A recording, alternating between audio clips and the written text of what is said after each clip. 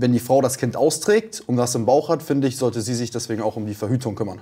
Okay, ich finde das absoluter Das ist ja Bullshit dein auf jeden Kind Fall. dann. Hm? Hast du selber ein Kind? Nee. Okay, das merkt man auf jeden Fall, weil das ist auf jeden Fall, das ist eine äh, hanebüchene Aussage auf jeden Fall. Das kann man auch so nicht stehen lassen, weil, ähm, also erstmal befruchtet ein Mann eine Frau nicht. Ne, also du, du, du trennst das so, als wenn das, als wenn das zwei verschiedene Parteien wären, aber nur weil die Frau das austrägt. Ähm, Das sind ja zwei verschiedene Geschlechter.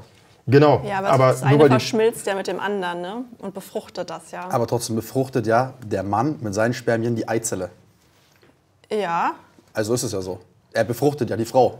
ja gut, aber der Mann hat ja dann trotzdem Teil auch, also ist ja auch Teil der Befruchtung beizutragen, und das auf jeden dementsprechend Fall. ist es ja auch. Aber die Frau trägt das Kind aus, das heißt, bei der Frau wächst das Kind im Bauch. So, und wenn sie der Meinung ist, nein, sie möchte keine Kinder, so in der Hinsicht, sie möchte ihren Spaß haben, dann bin ich der Meinung, sollte sie dafür äh, sorgen, dass äh, sie sich auch darum kümmert, dass sie nicht schwanger werden kann.